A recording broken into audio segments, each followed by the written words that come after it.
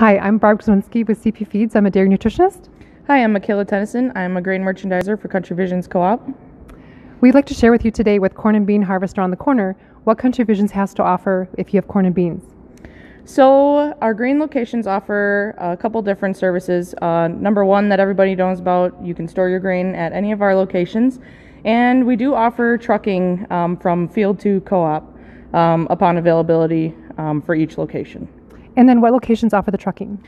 Um, so primarily it's Cedar Grove and Random Lake, um, Chilton and Kiel. And who should they call if they need trucking? So if you need trucking, contact your local Country Visions uh, grain merchandiser. So that'd be Brad, uh, Paul, Mark, or myself, and uh, we can get that scheduled for you. Um, we do appreciate a heads up so we can plan and make sure we have a truck available and some personnel to bring the truck out there for you.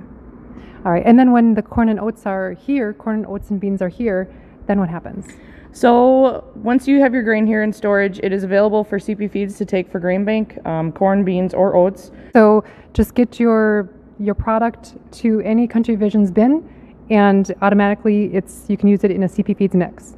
Yes, regardless if we truck it in or not. Um, if you bring your corn into any uh, country corn, beans, or oats into any Country Visions uh, grain location, and you put it in storage, it is available for CP Feeds to take for grain bank. Awesome. Sounds good. All right. All right. I hope everyone has a great harvest. Yeah, happy harvest.